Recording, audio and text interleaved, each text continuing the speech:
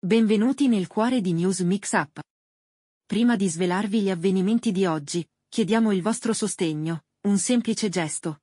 Un mi piace a questo video e l'iscrizione al nostro canale rappresentano per noi un segno di importanza immenso. Grazie di cuore.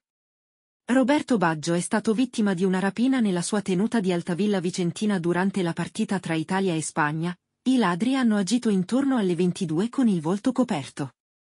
Hanno rubato gioielli, contanti e orologi, ma hanno lasciato intatti i cimeli calcistici di Baggio, sollevando interrogativi tra gli investigatori. I fan erano preoccupati per il pallone d'oro di Baggio, ma sembra che il trofeo sia custodito in una cassetta di sicurezza in banca. Gli investigatori stanno valutando due ipotesi. I ladri potrebbero non aver saputo informazioni su quello che c'era all'interno della casa, oppure non sono riusciti a trovare la stanza dove era conservato il cimelo. La seconda ipotesi sembra più plausibile, poiché i ladri si sono fermati per quasi 40 minuti senza mai trovare il trofeo. Addirittura alcuni vociferano che potrebbero essere i figli di qualche conoscente di Baggio che sapevano come muoversi quella sera.